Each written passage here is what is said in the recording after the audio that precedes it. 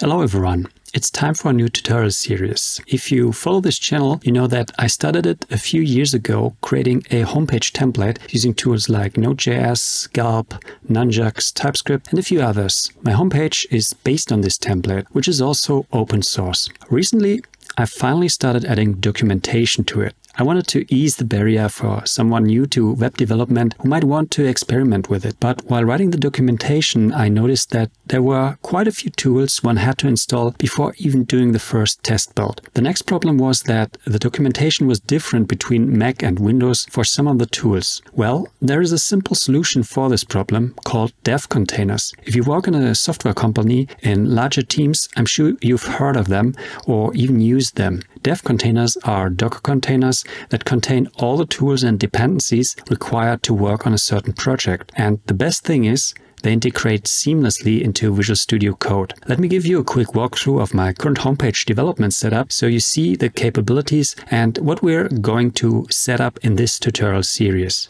If you're not yet using dev containers, your setup might look something like this. You have Visual Studio Code, you have several extensions installed here, you have locally set up Visual Studio Code to do the formatting the way you want to use tools like Prettier or for Python, use the black formatter, stuff like that. So you have set up everything customized properly for your own developer needs. Well, if somebody else joins this project or you make it open source, somebody clones it and wants to work in it, chances are he or she has a different setup and the results might be different. For example, for this project, I need to have the Gulp CLI installed because this is how I built the project. And if it's not installed, it will not work. Also, I use Python for my galleries, and there are a few dependencies I have to install via pip. And if somebody else checks out my project, he or she would have to first install those dependencies.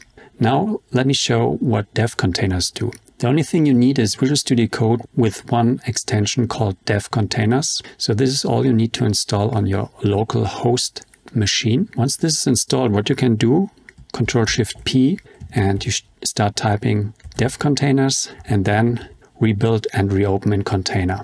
And this option will be there because if you noticed here in the project, there's a folder called dev container. And we're going to look at this in detail, what's contained, how it's set up. But if it's there with the proper files, when you press Ctrl Shift P, you can use this option to rebuild and reopen in a container. And if once you've built it once, you can also just use reopen in container.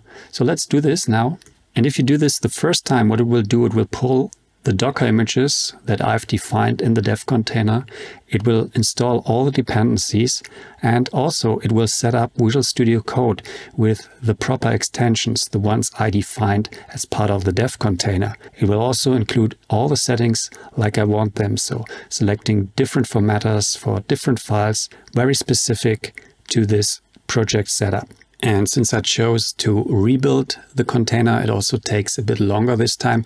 But later, as I said, just use reopen and it will open nearly instantly. So you'll have no delay. Now what you see here on the left, the same folder structure like I had on my local machine. But down here, you already see this looks a bit different. I'm now logged into a Linux machine. In this case, I'm using a Ubuntu machine. And what you'll also see is if we go to the extensions, up here, there are my locally installed extensions, the ones I use on Windows. But here you see a new section, dev container, and those are the extensions that are installed in this dev container. And you see I have everything I need for developing this project. So I have PHP, Intelephense, I have Nunjucks, Python, Prettier, all the tools I need. And also, if we look at the settings, Control Shift P, settings, JSON, and open the remote settings here, we see there's a whole bunch of settings included already. Setting up a default formatter, Python, and then setting up different formatters for all the file types I use in this project. Down here, setting the terminal I want, some Python settings, so a lot of settings which you can provide together with the dev container. Another thing I like about dev containers is the node modules. If I now install them here, npmi, they are just installed inside the dev container. So I have all the source code mounted, but the node modules, They will just be installed into the dev container and they will not end up in my local file system, in my Windows file system, which is great because I don't want to clutter my local file system with those. And now the best thing is I'm using Docker Compose to not just start up the dev container, but I also start up a test server.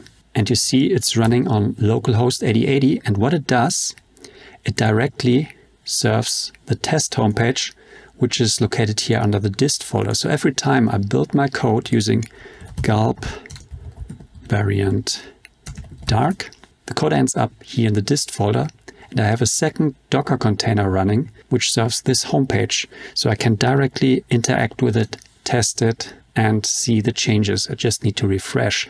And that's powerful because then I don't need to install other tools like Laragon or XAMPP to create a local server. No, I just spin up another Docker container. And if I want um, a MySQL database, I can just add another container and hook it up to this whole system. So this way you're very flexible. You spin up your development container and in addition to that, you can spin up test containers where you then run your homepage, test it, basically setting up a network of different containers, different machines.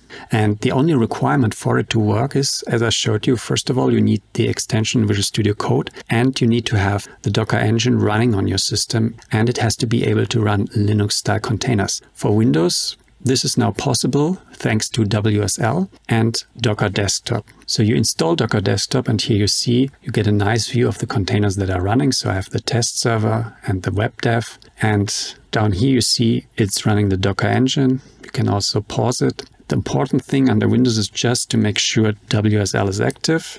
And for Windows 10, this is simple. You just go to the search and start typing turn Windows features on or off, which brings up a control panel.